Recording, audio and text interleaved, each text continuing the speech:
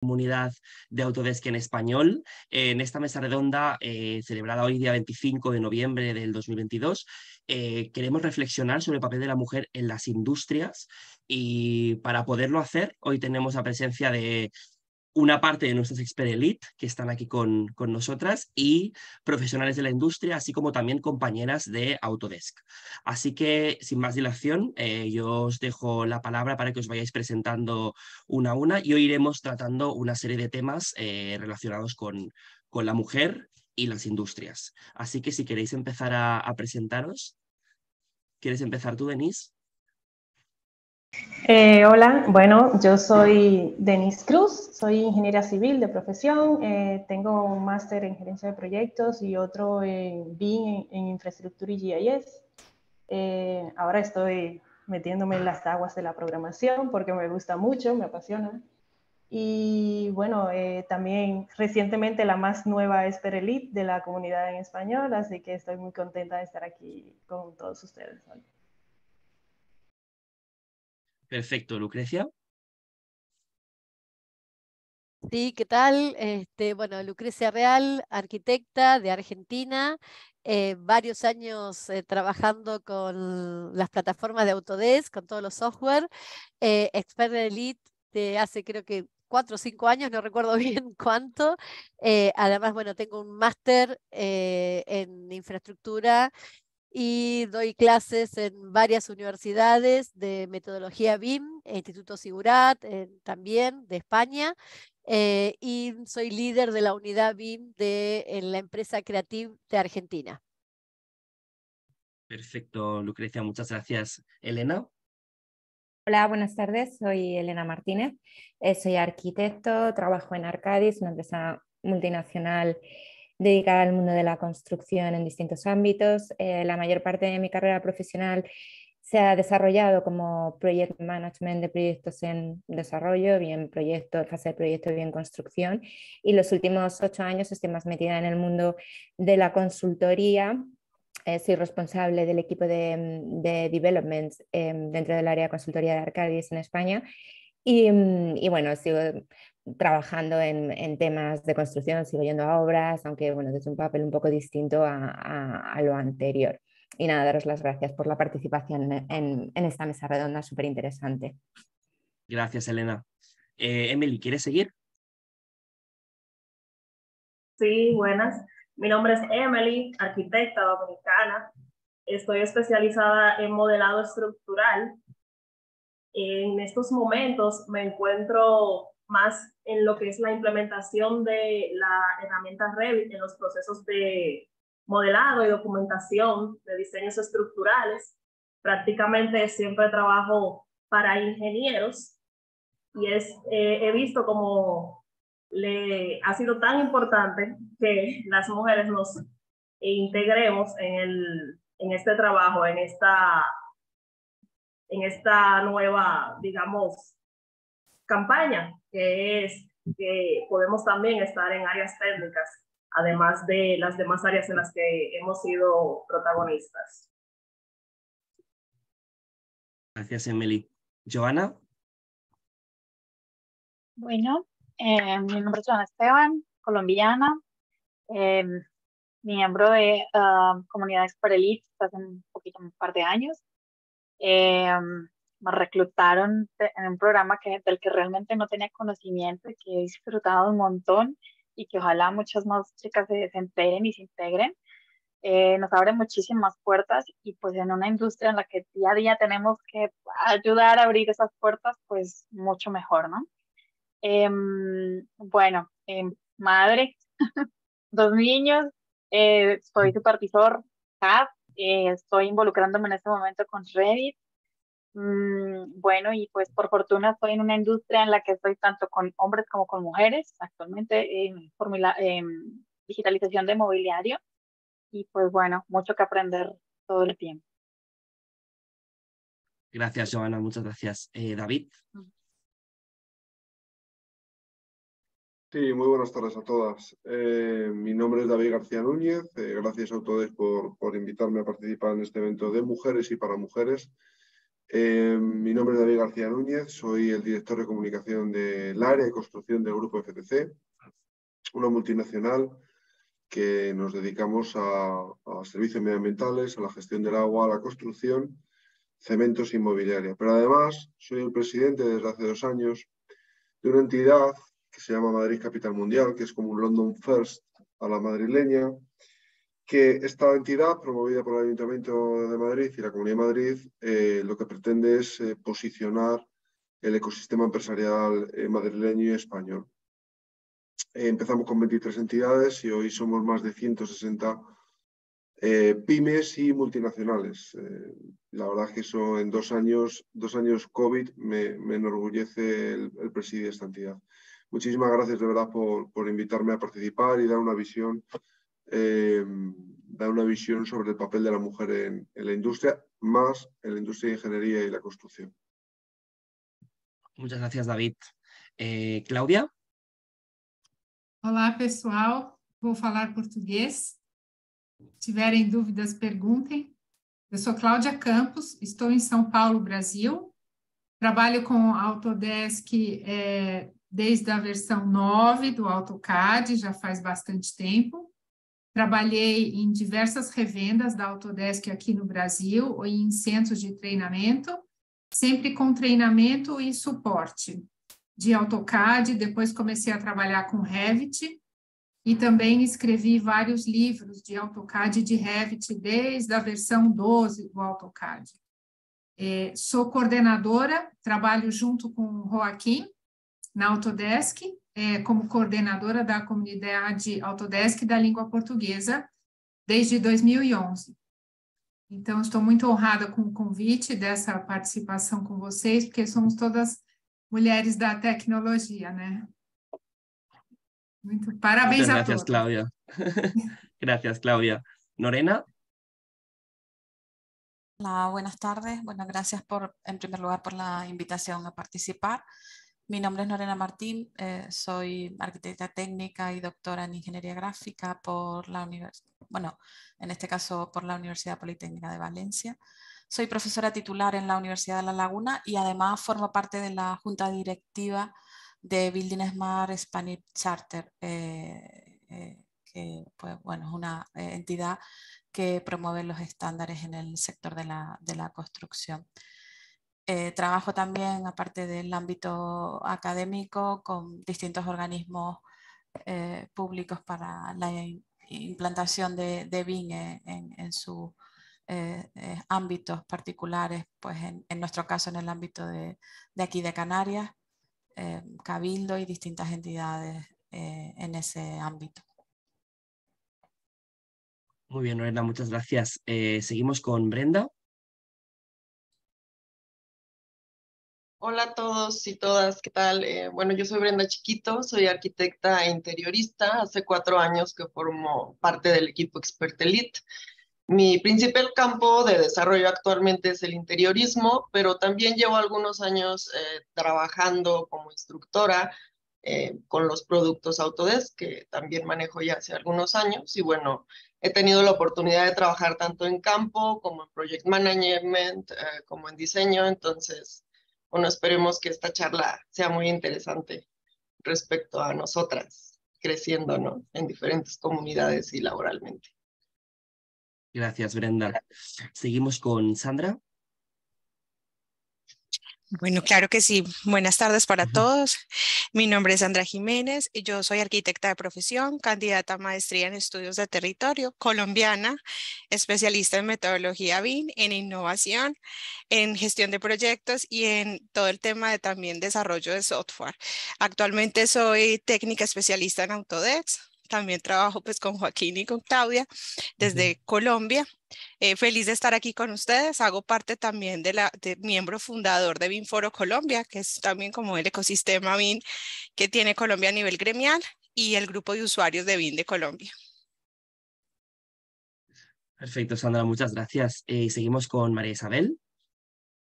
Hola, buenas tardes. Gracias por la invitación. Es un placer estar aquí con, con todos vosotros. Em, mi nombre es María Isabel Gavarro, yo soy doctora arquitecta.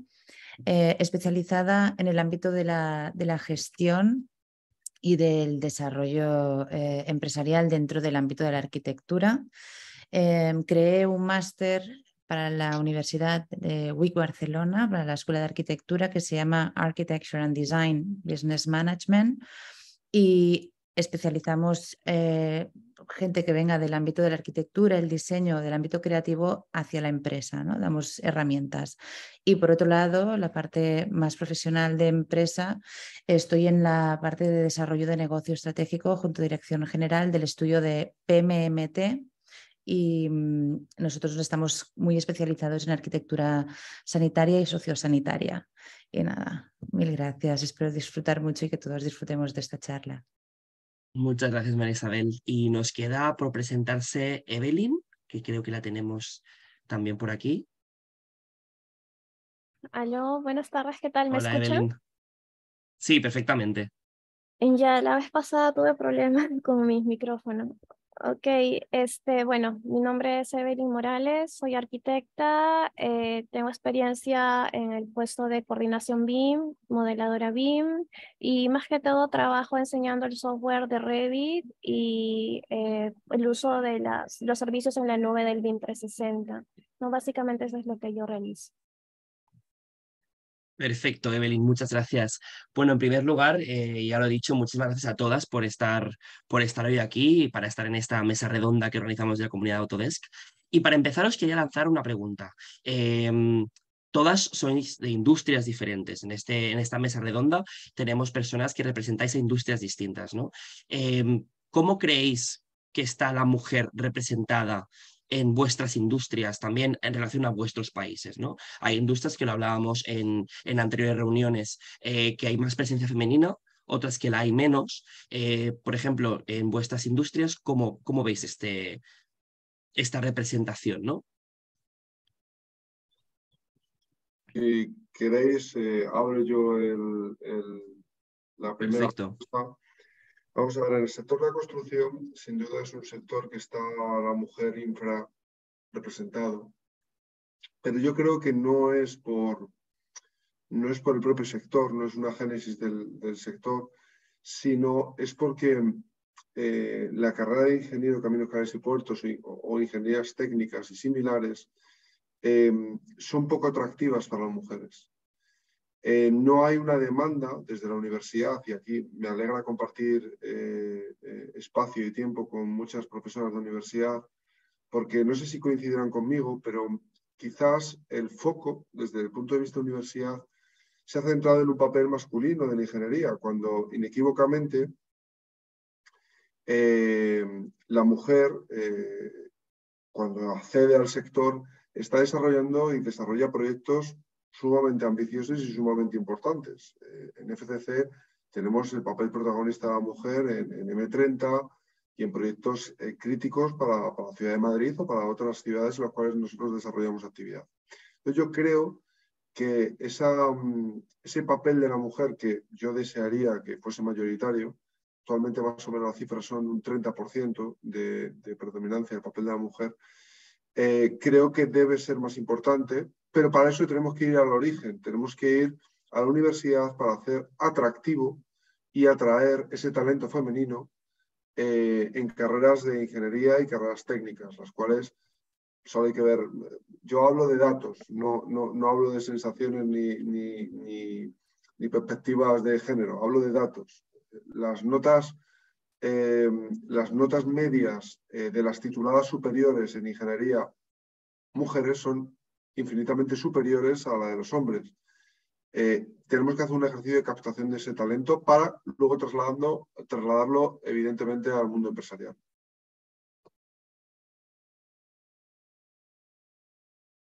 Bueno, yo mm, también. Ah, perdón. No, solo quería sí, apuntar. Elena. Perdón, eh, no, eh, con, o sea, coincido bastante con, con, lo que dice David. Creo que hay carreras en las que mm, tradicionalmente la presencia masculina era mayor, las cifras están ahí. Creo que es algo que año tras año se va superando. No sé si es tanto el hecho de que mm, no se vea atractivo por parte de la mujer, sino como que son papeles que a lo mejor eh, falta un poco de visibilidad. Es decir, en qué proyectos está participando la mujer, cómo puede desarrollar eh, esa carrera o esos estudios en, una vida profesional, si realmente participa en proyectos relevantes o, singulares, si ese papel es un papel de responsabilidad. O sea, estoy totalmente de acuerdo y coincido en que, en que creo que es un tema de formación, estamos absolutamente capacitadas para resolverlo. O sea, personalmente en la empresa en la que estoy Em, hay bastante paridad en cuanto a hombres y mujeres, tanto a nivel de puestos de responsabilidad como, como en, todos los ámbitos. Las oportunidades que tenemos son las mismas y en ese sentido no he sentido nunca ningún tipo de, discriminación, pero sí creo que hay un, que hay un punto común que pasa por, por esa formación, por esa especialización, por dar más visualización a, esas eh, figuras relevantes o esos proyectos relevantes en los que las mujeres han tenido un papel importante en su desarrollo y creo que es algo que se debe potenciar más. Muchas de estas actividades se centran fundamentalmente en días como por ejemplo el Día de la Mujer, que parece que es donde eh, todo el mundo tiene que poner determinados aspectos em, de manifiesto, demostrar que las mujeres eh, tenemos un papel en la sociedad y hacemos cosas interesantes y al final ese papel se demuestra día a día. O sea, el Día de la Mujer no es uno, son los 360 días del año y nuestro desarrollo, nuestra actividad, nuestra responsabilidad lo realizamos todos los días, no solo uno, con lo cual creo que al final esa visualización tiene que ser algo más generalizado para que esa situación se normalice y, a esas carreras más técnicas o tradicionalmente masculinas, pues de repente empiecen a llamar más la atención pues a, otro colectivo, ¿no? a las mujeres y se vaya dando la vuelta a esas cifras. Lucrecia, ¿querías eh, decir algo? Sí, no, era un poco confirmar lo que había dicho David, que ahora está confirmando Elena, que, bueno, yo trabajé muchísimo más tiempo en el área de infraestructura y siempre eh, me tocó trabajar con prácticamente todos hombres, o sea, eh, en muchos casos era la única mujer porque el área de la ingeniería se ve más relacionado al hombre, eh, pero es un tema también de que desde abajo, o sea, desde la facultad de la universidad, como comentaban, eh, faltan mujeres que estudien, entonces, bueno, después cuando llegamos a, las empresas eh, no hay demasiadas mujeres. sobre todo, bueno, lo he visto en mi país y lo he visto en países de Latinoamérica que prácticamente en la parte de ingeniería no hay mujeres. Y yo siendo arquitecta trabajaba en infraestructura. Este, entonces también era un tema de que una arquitecta trabajando en esto, hasta eso también era raro, ¿no? Eh, pero bueno, pasa eh, que, en el tema de infraestructura eh, se ven mucho más hombres que, que mujeres, pero eso no quiere decir que no uno no pueda avanzar y no pueda llegar. Lo puede hacer a veces con más cuestionamientos. Si yo digo algo y el otro dice, eh, o un hombre dice lo mismo, tal vez a mí me, se, me cuestionaba y al resto decía, ah, sí, ok, y cosa que yo siempre decía, pero ¿por qué a mí me lo cuestionan y al otro no? este, pero bueno, ese eh, era otro, otro problema, digamos. Pero sí, sí, eh, quería confirmar lo de David y Elena antes. Denise tenía la mano levantada y quería comentar. Sí, eh, bueno, estoy muy de acuerdo con todo lo que se ha expuesto anteriormente y un poco eh, eh, continuando lo que mencionaba Lucrecia, yo también soy parte de, este, de esta ingeniería de infraestructura donde la mayoría son hombres. En mi primer trabajo de ingeniera en Haití, yo era la única mujer en el campamento y aparte de mí, otra mujer era la encargada de mantenimiento eran las únicas dos mujeres dentro de como 150 hombres dentro de un, campamento. Eh, y bueno, sí, desde la universidad también hay que hacer un esfuerzo por, por, motivar, pero particularmente yo no me di cuenta de nada de esto porque yo en mi casa, desde chica, eh, yo tengo un hermano que me lleva como un año, nunca hubo diferencia entre mi hermano y yo. Eh, y también desde el hogar creo que falta ese, ese ese refuerzo de que eh, tú, tanto tú lo puedes lograr, tú puedes estudiar ingeniería, tú puedes estudiar lo que quieras estudiar, no importa. Eh, esa, esa, validación desde el hogar creo que es importante. Y en la universidad yo no me di cuenta porque mi universidad, a diferencia de otras en República Dominicana, eh, era muy inclusiva y aunque éramos menos mujeres, eh, nos sentíamos muy, muy parte. Yo nunca oía a ninguna compañera quejándose de, de que estudiaban ingeniería y que se sentían menos ni menos inteligente o, o, más que, que, o sea, de verdad creo que mi choque fue cuando yo salí al mundo laboral y veía que yo era muchísimo mejor que un compañero y sin embargo a él le pagaban más y cosas así. Eh, pero eh, hay muchísimas dificultades. Por, por ejemplo, la sociedad eh, dominicana es sumamente machista y por un lado, una de las grandes dificultades que sufrimos las ingenieras, arquitectas, aquí es el acoso. Hay que tener muy mala cara todo el tiempo para como validar tu respeto, como hacerte respetar. Y, y, es algo fuerte, pero lo, o sea, uno con, con, paciencia lo puede ir como que manejando y sobrellevando y, y dándote tu lugar dentro del, y validándote tú misma. Un poco yo lo que veo es que muchas de las mujeres que trabajan aquí o, que trabajan en, República Dominicana eh, eh, no tienen mucha eh, autoestima de, que pueden, o de que pueden lograr más, o que pueden escalar a puestos más altos. Falta un, como que mucho empoderamiento de, de, de nuestra parte. Sí he visto que hay como que una creciente en la parte de arquitectura. Hay muchas arquitectas que están emprendiendo sus propias empresas y eso me alegra muchísimo. Claudia tenía la mano levantada. Sim, fazendo uma comparação com o Brasil, aqui na arquitetura, a maioria são mulheres nos cursos de arquitetura, muito mais, vamos dizer, uns 80% mulheres, né? Na engenharia civil, eu dei aula na, numa universidade muito importante aqui em São Paulo durante três anos, até antes da pandemia, né? e eu dava na engenharia civil. Então, mais ou menos era metade mulheres, metade homens nas minhas turmas, né? Eu dava aula de Revit e de AutoCAD. Então, na construção aqui no Brasil, a maioria ainda são homens, mas está mudando isso. Eu vejo muitas mulheres como gerentes de obra, gerentes de canteiro de obra nas construções grandes, de grandes empreendimentos, e no BIM, que eu trabalhei 10 anos com implementação de BIM aqui, até recentemente, também temos na, nos cursos de BIM e nos cursos de pós-graduação de BIM, que eu dei um treinamento, é, a gente vê muitas mulheres nessa área de BIM. Então, acho que a gente está numa transição de igualar, mais ou menos, né? Então, muitas mulheres entrando para essa área.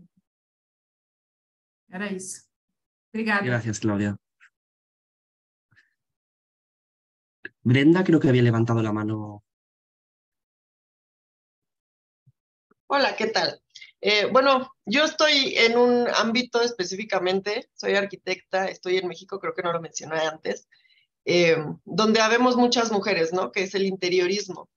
Pero aunque apenas llevo poco más de 10 años de experiencia laboral, he tenido la oportunidad de estar tanto en campo, en obra, como en esta parte que es más bonita, ¿no? Y vemos eh, dos aspectos totalmente diferentes de la profesión. Lo que yo he notado mucho, especialmente estando en obra, es que, por ejemplo, entre hombres se puede dar mucho compadrazgo y, mucho llevarnos bien y llevarlas eh, llevar la obra de esta manera. Pero cuando una llega como mujer a un puesto de supervisión, por ejemplo, una tiene que imponer respeto, porque de otra manera no hay forma de que mm, lleves eh, a cabo tu trabajo, ¿no? Y son eh, formas muy distintas eh, de llevarlo a cabo. En México yo noto que sí hay muchas mujeres, especialmente en el ámbito de arquitectura, pero no hay tantas en puestos directivos o de liderazgo. por ejemplo, en mi carrera o en las obras en las que yo he estado, jamás me ha tocado ver a una directora responsable de obra siempre han sido hombres. Eh, no sé si ustedes tienen la oportunidad o lo que sería como un gerente de construcción. No sé si a ustedes les ha tocado eh, que sí haya una mujer eh, siendo la cabeza completa de la obra, ¿no? No una parte en, la cadena, sino la directora responsable de obra. Este, digo, es algo que acá no se ve mucho. Muchas mujeres en muchos puestos, pocas mujeres en puestos directivos. Creo que eso es algo, Brenda, bastante compartido por muchos países. ¿no? Yo creo que en este caso lo compartimos en la mayoría de lugares, ¿no? El, el, acceso ¿no? a los puestos directivos es algo que, que, no, que, que, no sucede, ¿no? que no se ve. No sé quién seguía, creo que era Norena. Sí, eh, comentar solo una cosa, porque se ha nombrado la universidad, pero eh, básicamente la semana pasada estuvimos en Binexpo en Madrid y ya comentamos también en, en una mesa de eh, en el que reflexionábamos sobre, sobre parte de lo que vamos a hacer aquí. Eh, esto se tiene que trabajar en etapas muy tempranas, que no son la universidad. La universidad, cuando llegan a la universidad, ya son las, las, personas que han decidido su vocación, ¿no? Entonces, en la universidad lo que tenemos es que ser sensibles para, nosotros lo hacemos, eh, pues hacer, traernos a los a, los estudiantes que están eh, en etapas en las que eh, quieren decidir sus profesiones y mostrarles. ¿Y cómo lo hacemos? Pues mostrando referentes, que yo creo que antes Elena lo comentaba, ¿no? Eh, el mostrar referentes es una cosa que a mí me parece lo más interesante. Una de las cosas que hacemos nosotros es que pues, las cosas que hacemos con los estudiantes preuniversitarios, pues en general haya bastantes mujeres, y, eso nos permite, lo comentaba el otro día, no, poner demasiadas etiquetas a las cosas, sino simplemente buscar los referentes eh, que nos interesan. Si tenemos profesiones en las que eh, no hay muchas mujeres, porque básicamente, desde mi punto de vista, eh, no tienen referentes que les resulten atractivas, nos pasa mucho en las, en las, titulaciones, en nuestro caso, ingeniería informática, ingeniería mecánica. ¿Y por qué es? Porque ellos asocian o ellas asocian eh, la ingeniería informática con un tío friki que está allí metido en su ordenador. Y ahora, pues una de las acciones que se está haciendo es, extraer, de hecho, a egresadas de nuestra universidad que andan por todos sitios del mundo eh, en distintos puestos eh, y que son un referente. Entonces, eso, desde mi punto de vista, funciona es lo que, lo que deberíamos fomentar y en etapas tempranas, eh, cuando ya tienen determinadas edades, han decidido. A veces no, ¿eh? yo tengo dos hijos varones y en primero de bachiller y todavía no ha decidido lo que, lo que quiere, con lo cual, pues bueno, puede ser, pero siempre en etapas preuniversitarias porque en esas etapas deciden un poco lo que, lo que quieren hacer. En la universidad tenemos otras responsabilidades que yo creo que, que se están teniendo en cuenta y, se desarrollan multitud de acciones para, para fomentarlas. ¿no?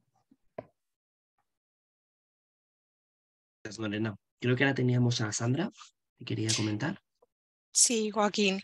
Eh, bueno, yo llevo 18 años trabajando en el sector de la construcción y empecé como residente de obra eh, realmente pues estuve en, en, temas también como de, de, cargos muy operativos. Fui almacenista dentro de una obra.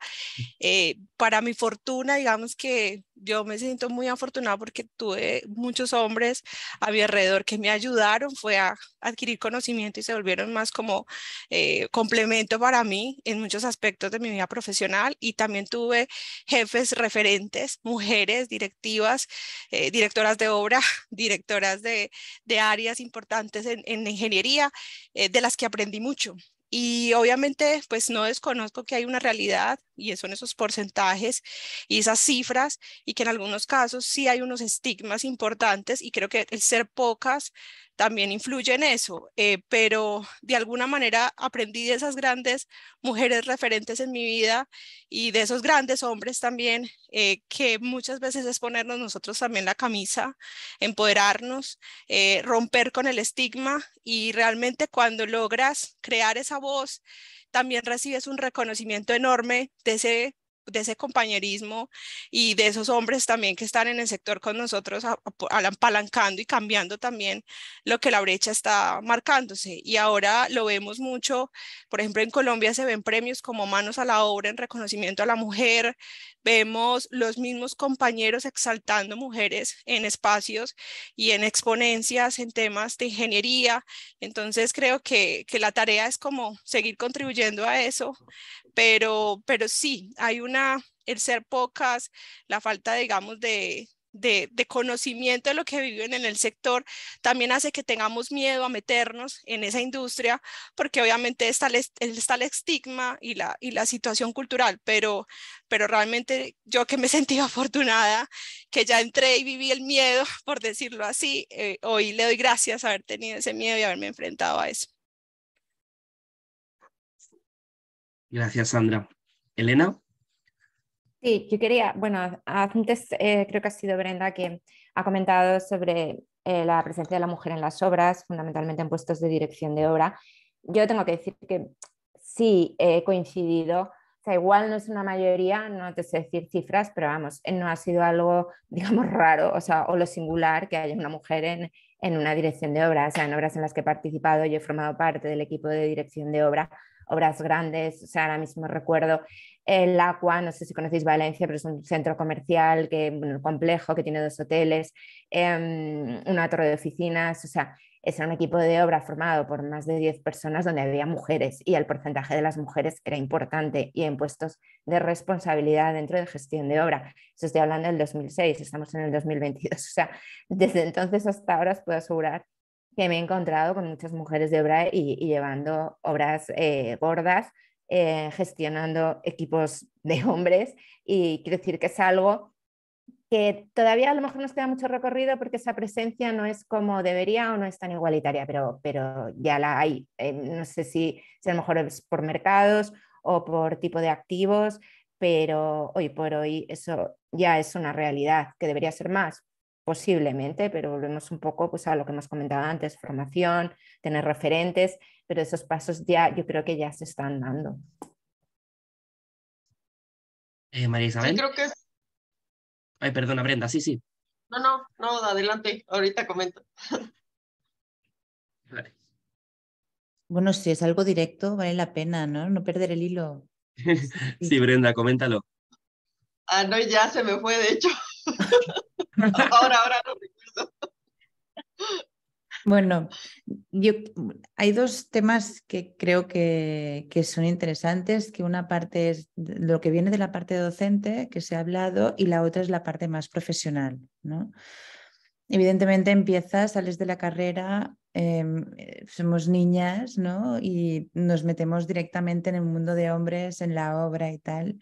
Y yo recuerdo de, mm, ¿no? de esta sensación de decir, bueno, claro, es que bueno, pues no, o no me tienen en cuenta, o total, ¿no? Hasta el punto de que el trato humano se llevaba de tal manera que en el momento en que el jefe de obra me decía, mira, si la semana que viene vienes a las 8, mm, te invito a desayunar. Entonces, aquella era la clave perfecta para decir, bien, ahora ya empezamos un camino juntos, ¿no? a que las cosas salgan adelante. O sea, esta parte de que es la, confluencia entre actitud ¿no? y las aptitudes. Em, esto, o sea, la mujer vamos sobradas, o sea, que al final em, la parte técnica, ¿no? que es la parte más táctica, que es la parte de conocimientos, pues es exactamente igual. Y aparte, yo creo que hay una resiliencia en, en la propia actitud de la mujer que ayuda a que primero las cosas se hagan y se hagan a tiempo, cosa que se valora muchísimo en la obra y en, en otras partes, pero en la obra muchísimo.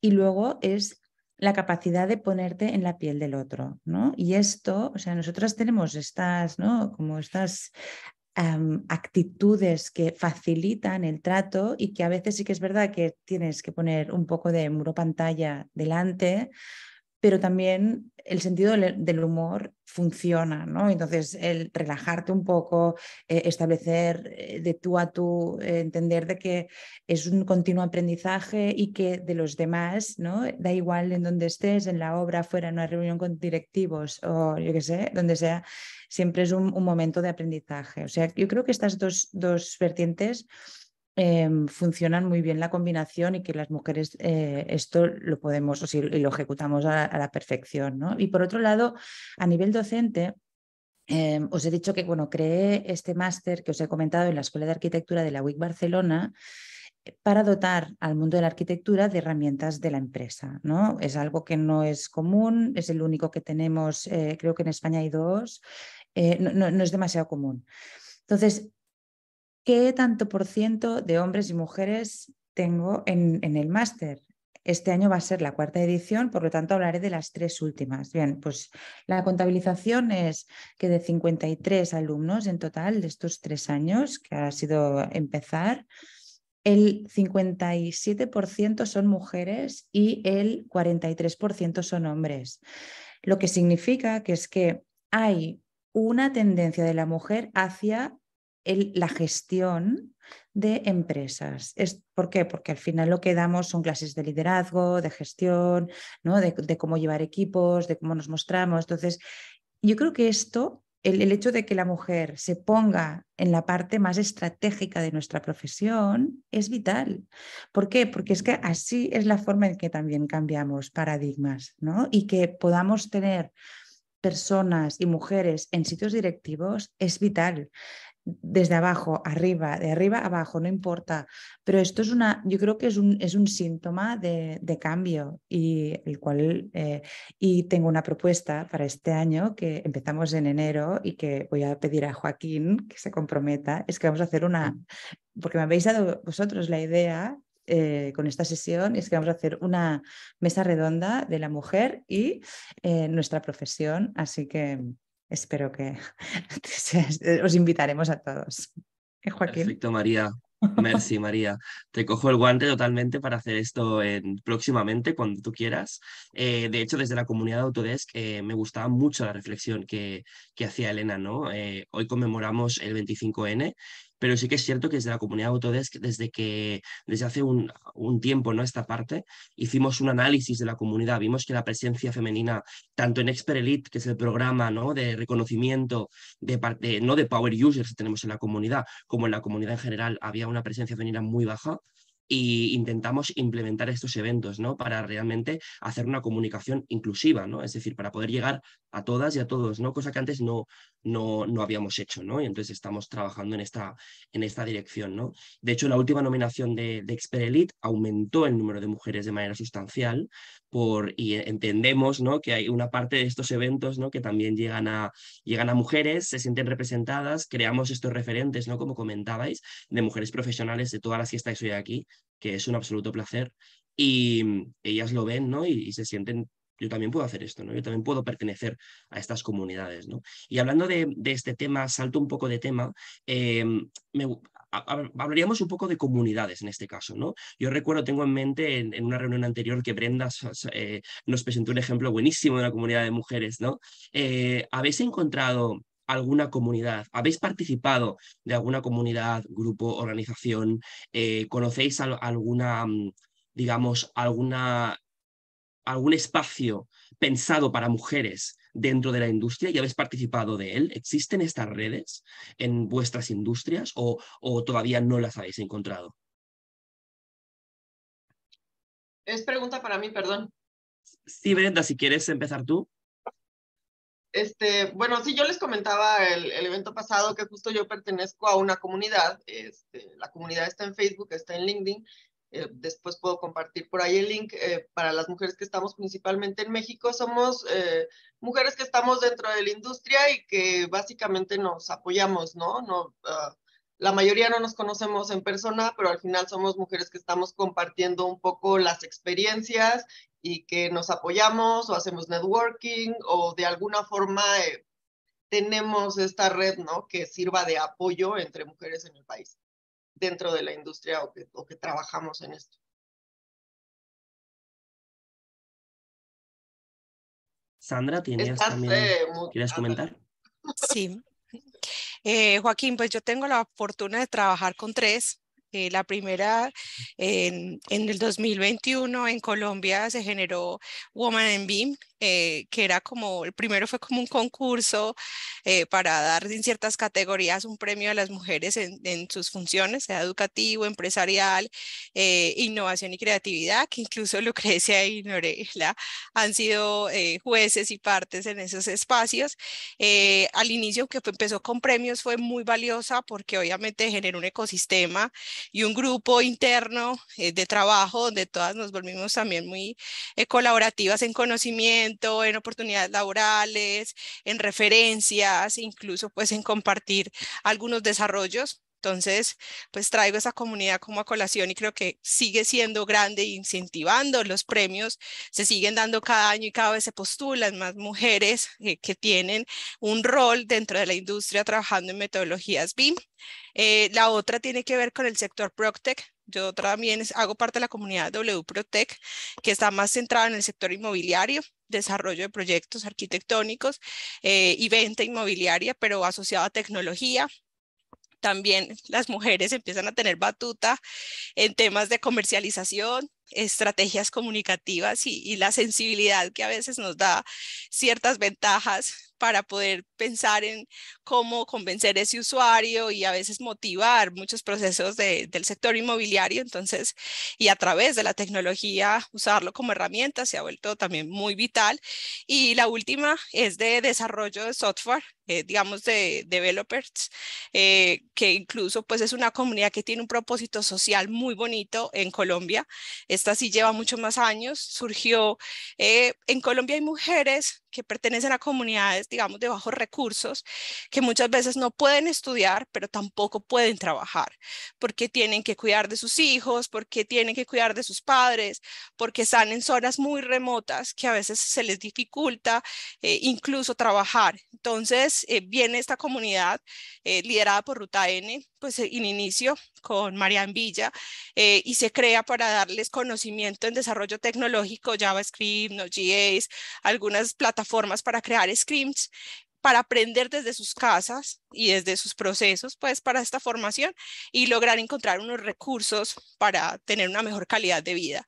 Entonces, también esa comunidad empezó dirigida a mujeres, ahora ya hay hombres, porque la comunidad empezó a ser, eh, digamos, de mucho impacto para el sector y pues obviamente esas tres comunidades tienen propósitos sociales muy importantes que creo que debe ser lo primordial, fortalecer el conocimiento y crear nuevo conocimiento porque realmente se convierte en un dinamismo de transferencia de quienes saben a quienes de pronto no tienen el acceso formal, pero de alguna manera va creando también un hilo profesional importante y nos va dando posicionamientos en temas de liderazgo. Sandra, por los geniales ejemplos ¿no? que, nos, que nos comentas. Elena. Sí, yo quería comentar eh, dos. Eh, por un lado, bueno, al preparar un poco esta charla buscando datos y tal, me he encontrado con una fundación que me ha parecido, me ha parecido interesante de compartir, porque estamos eh, como muy hablando del papel de la mujer, mm, ya tanto en la universidad, niveles de formación, puestos de dirección, de responsabilidad, pero hay mujeres que también trabajan físicamente en la construcción. Es ese sí que es un porcentaje mínimo. O sea, por los datos que he buscado, estamos como en, en alrededor del 10%. Entonces hay una fundación que se llama Fundación Laboral de las Mujeres, que lo que hace es que fomenta cursos de formación y de especialización para mujeres que están interesadas en, la ejecución de obras, visualiza ese papel que aunque sea todavía muy minoritario, existe de la mujer y, genera actividades, participación, o sea, mm, concienciación. En fin, me, ha parecido interesante por, bueno, por un poco por, el, por lo minoritaria ¿no? de esa situación. Y por otro lado hay otra asociación que, bueno, conozco aparte de, de las socias, eh, que es WIRES y que es, es más relacionada, es eh, Woman in Real Estate, es más relacionada con el sector inmobiliario, no tanto, digamos, directamente con la ejecución, pero bueno, forma parte del negocio y que al final el papel es el mismo, ¿no? Eh, poner de manifiesto mm, el papel de la mujer dentro del mundo inmobiliario, que también es bastante de, de tiburones, permitirme la expresión. David. Sí, pues me alegro que Elena haya citado a Guaires porque em, Carmen Panadero es muy buena amiga y, trabaja codo a codo con nosotros a través del ayuntamiento y, sin duda creo que tiene iniciativas interesantes. Yo os venía a, exponer una iniciativa que, que he participado yo activamente eh, a través de Naciones Unidas. Naciones Unidas tiene un programa que es el Target Gender Equality, Em, lo que hace es exponer, eh, conectar a distintas empresas, distintas multinacionales o pequeñas empresas, em, para, por un lado, mostrar los planes de igualdad y las acciones de igualdad que tienen estas compañías y, por otro lado, darles las herramientas necesarias para que si no tienen ese plan de igualdad, puedan desarrollarlo, puedan promocionarlo y puedan, eh, eh, ponerlo en práctica con medidas reales. Eh, dura un año ese programa, es un programa muy interesante que yo os animo a que lo, a hagáis. Un programa muy transversal de Naciones Unidas y que sin duda eh, a muchas pymes, que es el 80% del tejido empresarial español, eh, les va a venir muy bien para precisamente lo que, lo que estábamos contando. calar como lluvia fina la necesidad de llegar a una igualdad real y práctica. Eh, y quería, quería aprovechar en un minuto eh, el comentario que ha hecho eh, Lorena, que me parece muy inteligente. Yo no me estaba refiriendo a la universidad, sino me, me estaba refiriendo a etapas anteriores a la universidad para hacer atractivo las carreras técnicas, las carreras de ingeniería. estamos en una crisis de valores y una crisis de talento ahora mismo acuciante y eso no hace falta que os lo diga porque lo vivimos día a día en el mundo empresarial y en el mundo universitario todavía más. Eh, esa crisis de talento y esa crisis de valores solo podemos atajarla en etapas preuniversitarias. Eh, y evidentemente coincido completamente con todas vosotras en, en, establecimientos referentes, pero tenemos que eh, ganar la partida de la comunicación. Y perdonad, que, insista en ello. La comunicación, si no somos capaces de explicar qué mujeres han hecho qué, nunca llegaremos a calar ese mensaje. El ejemplo es clarísimo. Hace unos días, hace un par de días, creo que han seleccionado a una biotécnica o biomecánica, eh, astronauta, eh, candidata de León, además, para eh, acudir a, una misión espacial. Ese es el ejercicio llamémoslo astronauta o llamémosla ingeniero de caminos, canales y puertos o, en mi caso, ingeniero industrial. Llamémosle como le llamemos, ese es el ejercicio que tenemos que realizar para atraer eh, ese talento y a las mujeres. Y por último, eh, hace unos días me reuní con, el director general de, formación profesional en la Comunidad de Madrid y tenemos un programa serio eh, de, de, vinculación no solo a la universidad por parte de las mujeres y los hombres, sino también, evidentemente, de la formación profesional que estamos dando a nuestros a nuestros em, eh, a, nuestras jóvenes promesas.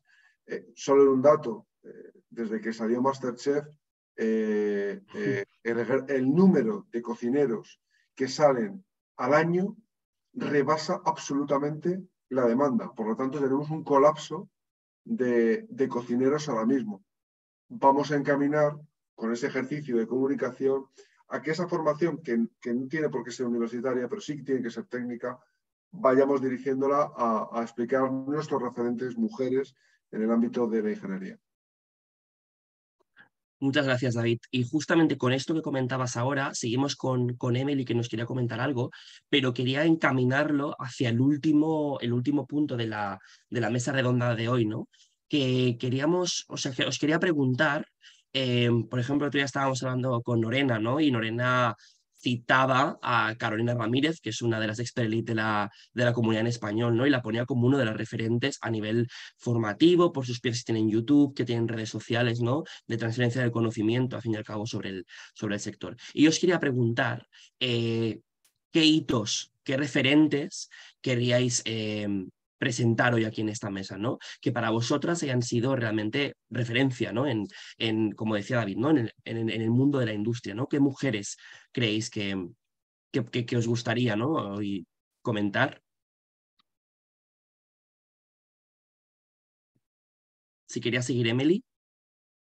Sí, eh, yo quería hacer hincapié en la primera, en la parte de los eventos o las comunidades a las que uno pertenece. Aquí en República Dominicana, hasta ahora, nunca me habían invitado a un evento que sea dirigido a las mujeres, salvo lo que estamos haciendo en este momento, donde Denise eh, estuvo buscando a alguien que quisiera participar ni siquiera fue algo como que, mira, tú eres experta, muy experta en esto o muy experta en aquello. No es quien quiera participar y que tenga conocimiento, que se desenvuelva en este ambiente. O sea, a veces nos da un poquito de miedo, digamos, bueno, yo tengo, tengo ocho años eh, desenvolviéndome como arquitecta, pero quizás de experiencia yo tengo así fuerte, eh, unos cuatro años. Y bueno, quizá me da un poco de, de, de miedito participar, no sentirme a la altura y todo ese tipo de cosas, pero al ver lo sencillo que ha sido participar, digo, bueno, pues cualquiera podría participar y entonces aprender eh, de otras, ver ejemplos. Eh, estos, este tipo de eventos son de los cuales dan esa visibilidad. Entonces, ya con respecto al otro tema, que es de los hitos eh, o de las experiencias que uno ha pasado como mujer, en el 2019, cuando ya yo estaba como que especializando más en el modelado de estructuras, se me dio una oportunidad donde en mi grupo era, habíamos cuatro varones y tres mujeres, dos arquitectas y una ingeniera. Dos de ellas tuvieron que salir de ese grupo y había que ir a una obra, una obra en Miches, una comunidad del este de aquí, de República Dominicana, para poder levantar unas estructuras de unos techos metálicos gigantes.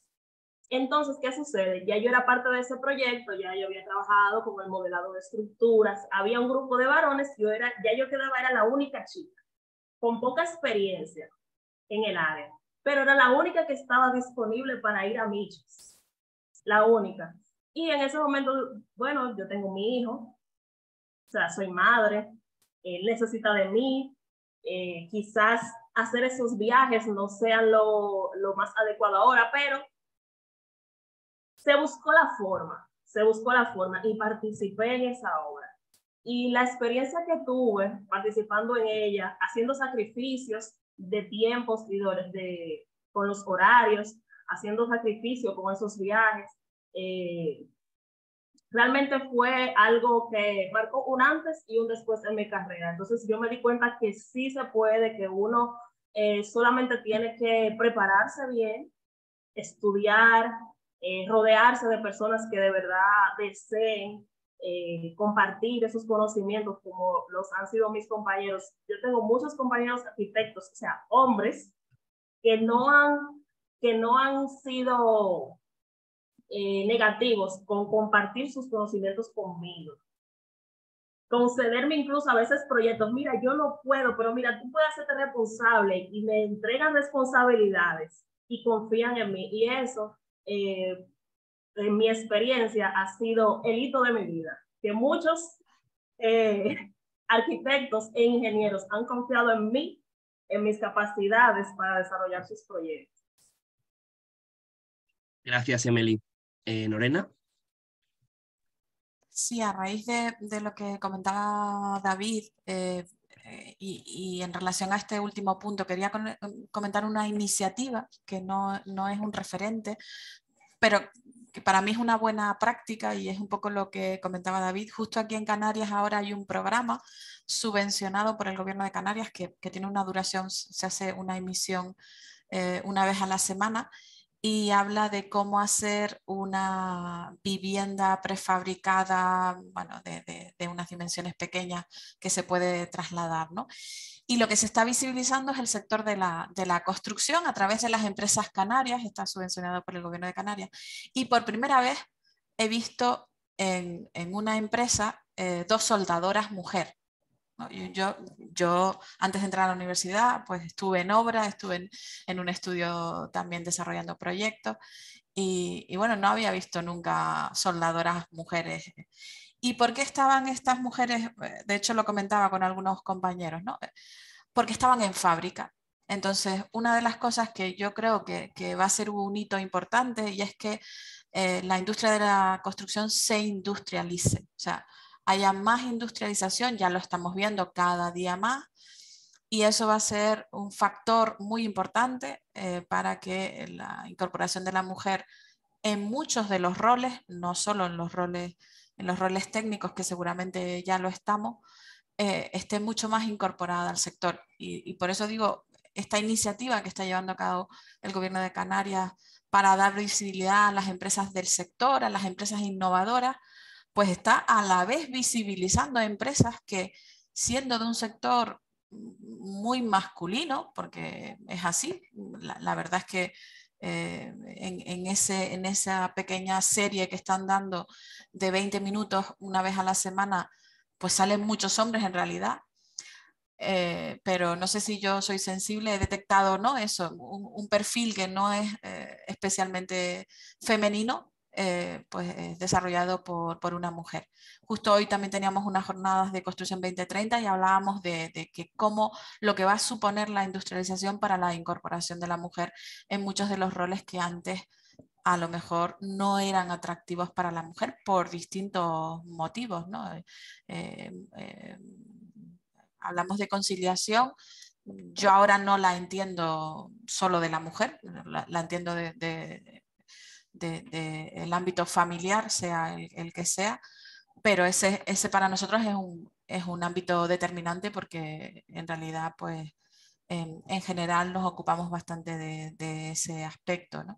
Entonces, para mí eso es una iniciativa que eh, pues está haciendo desde el sector público, está dando una visibilidad de cómo la mujer eh, se incorpora a sectores que, bueno, que tradicionalmente no lo eran y es a través de, bueno, de ese Masterchef, ¿no? Porque en realidad han utilizado a un humorista canario que por eso está teniendo bastante impacto.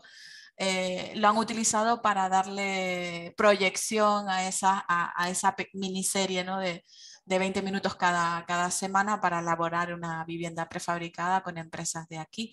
Entonces, la verdad es que eso funciona, ¿no? Eh, funciona como el Masterchef, ¿no? Entonces, utilicemos ese tipo de iniciativas de buenas prácticas en nuestro sector. Seguro que, nos iría genial. Muchas gracias, Norena. Seguimos con Brenda. Ah, bueno, yo quería mencionar eh, con referencia, valga la redundancia, a los referentes femeninos que hemos tenido. En mi caso particular, eh, yo nací en el interior de la República, ahorita vivo en Ciudad de México, es un sitio muy distinto aquí. Eh, mis principales referentes cuando yo decidí estudiar arquitectura, yo no tenía absolutamente a nadie involucrado en arquitectura a mi alrededor, ni familiares, ni amigos, ni conocidos. Entonces, mis principales referentes eh, siempre fueron las mujeres que tenía cerca al principio, eh, que me empujaban, ¿no? Mi mamá, mi hermana, eh, las maestras que tuve en la universidad que, pues, que te hacían ir un poquito más allá. Posteriormente, un par de jefas que llegué a tener en distintos trabajos y, ya empiezas a ver más referentes en tu área, ¿no? Pero a lo que voy con esto es que nosotras acabamos siendo referente de todas las mujeres que tenemos cerca, todas las que tenemos eh, oportunidad de ser docentes, acabamos siendo referente de cada una de las mujeres a las que les enseñamos eh, algo. Y en general a mí me gusta ir como con esa visión por la vida de que todo lo que hago como mujer es un referente para todas las mujeres que tengo cerca no para inspirarlas o algo así, sino al final nosotras mismas eh, podemos ser ese referente, no tenemos que ser mujeres famosas, o muchas veces las mujeres que realmente nos empujan eh, ni están en nuestra industria ni son famosas. Obviamente tenemos a las que están en la industria. Eh, hace unos años tuve la oportunidad de conocer a Zaha Hadid, hablar 15 minutos con ella me cambió mucha visión de las cosas, de lo que yo quería llegar a ser, pero si me voy a profundidad de cuáles han sido mis verdaderos referentes, son las mujeres que he tenido cerca, las mujeres que me han empujado, e incluso las amigas o mis familiares a las que he visto hacer cosas que yo digo yo también eh, lo quiero hacer, ¿no?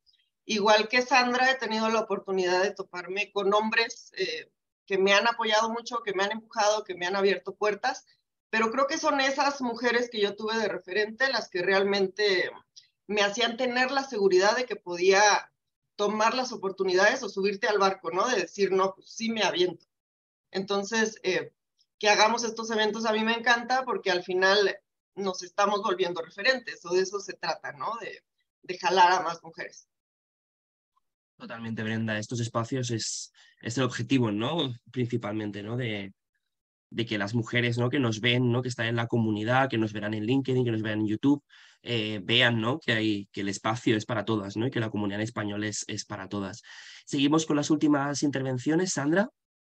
Sí, yo quería aprovechar con respecto al último punto, traer una iniciativa referente en Colombia y es Construimos a la Par. Es pues auspiciada por el gremio, realmente por Camacol a nivel nacional, que es como la asociación de construcción que existe en el país, eh, liderado por una mujer, la presidenta de, de Camacol es mujer, Sandra Forero es una mujer con una trayectoria extraordinaria también de nuestro sector y con un posicionamiento, inclusive una admiración por muchas personas, incluyéndome. Eh, ha liderado esta iniciativa como también la de Biforo, entonces de alguna manera pues quería compartirlo, lo compartí también en el link para que lo conozca. Busca premiar a esas mujeres que trabajan en la construcción, que han resaltado por su protagonismo en temas de innovación y desarrollo incluso en las eh, oportunidades de transformación de la industria. Entonces, quería compartirles ese hito referente. Eh, también les quería hablar de algo que mencionó Lorena, que me parece supremamente valioso y es efectivamente la industrialización de nuestro sector va a permitir la equidad porque vamos a ser mucho más operarias eh, y menos operativas, valga, digamos, ese sentido de de trabajar en lo que a veces incluso siendo hombres o mujeres exponen y aumentan el riesgo de vulnerabilidad a nivel de salud, a nivel, digamos, de, de, seguridad humana. Eh, y obviamente la industrialización va a buscar eso, la cualificación también de nuestro sector, porque obviamente entre más tecnificados estemos, mucho más mano calificada vamos a encontrar para las futuras obras y nos va dando unos conocimientos mucho más relevantes para apostarle a la innovación y efectivamente a la sostenibilidad. Yo creo que el compromiso de la sostenibilidad nos va a hacer mucho más humanos, nos hace mucho más conscientes de una realidad de hoy eh, que nos está impactando fuertemente en nuestros hogares, entonces de alguna manera eso va a hacer también que las mujeres sean más relevantes por la participación que tienen precisamente en el hogar, por la participación que tienen en esa diversidad de manejo de múltiples funciones que a veces eh, se requiere ser ambidiestro en una industria tan cambiante. Entonces, quería pues sumarme al comentario y, y agradecer también el espacio. Gracias, Sandra. Seguimos con María Isabel.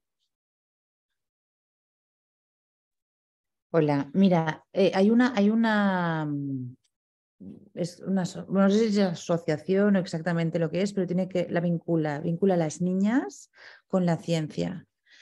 nuestro ámbito de actuación es eh, más hacia la ciencia que en las letras, por lo tanto, cuesta mucho estos referentes, pero desde niñas, ¿no? Y mm, hay una em, que, se llama No More Matildas. Es un vídeo precioso que eh, podéis encontrar en el YouTube y que tiene que ver con la fecha que es que lo estaba buscando para también poderlo compartir con vosotros. Es el 11 de febrero, es el Día Internacional de la Mujer y la Niña en la Ciencia. Em, nos podemos sentir identificadas en ello y yo creo que hay una gran labor que hacer con estas niñas ¿no? que se van a hacer mayores y que puede que en su futuro profesional pues escojan ¿no? el mundo de las ciencias, la arquitectura, la ingeniería y, mm, o la bioingeniería, biotecnología. Todo esto yo creo que nos hará mucho bien ¿no? y yo también estoy muy de acuerdo con la profesora de la Laguna que desde abajo hacia arriba es la forma de también de impactar en la sociedad. Eh, os lo compartiré, es un vídeo precioso. Gracias, María, muchas gracias. Y acabamos con la intervención de Lucrecia, que también quería comentar. Sí, no, eh, yo más que nada eh, nombrar, ya que estaban diciendo referentes, eh, referentes en el área BIM, ¿sí? más que nada quería comentarles, bueno, Carolina Ramírez como eh, se nombró en primera instancia, este, que también está dentro de nuestro grupo, pero bueno, que la conoce todo el mundo, es una gran referente en todo lo que es BIM. Em, después también quería nombrar a Carolina Soto de Chile, que en Latinoamérica ha hecho un trabajo impecable, eh, luchó muchísimo para lograr eh, toda la implementación de BIM en Chile y casi todo Latinoamérica está trabajando eh, en grupos con, con, Chile. De hecho, hay un grupo de BIM a nivel gobierno y bueno, ahí tenemos otra mujer que nos representa en Argentina, que es Vicky Pacini. Así que, bueno, ahí vemos las mujeres eh, luchando justamente eh, en todo esto. Y dentro del grupo, hablando de España, eh, el Congreso UBIN está plagado de mujeres que son las que organizan ¿sí? ese Congreso. así que bueno, también este, Lorena, bueno, ahora no me acuerdo los nombres, pero por ahí, Lorena, nos podés ayudar con los nombres de, de la gente que forman, las mujeres que forman el Congreso de UBIN que eh, hay, hay, muchísimas y todas reconocidas. De hecho, eh, una de ellas escribió un libro, no, no, no, no, me sale el nombre ahora, Norina, no sé si te acordás. Eh, estoy, yo, estoy yo igual que tú hoy ah, con los nombres. espérate, que...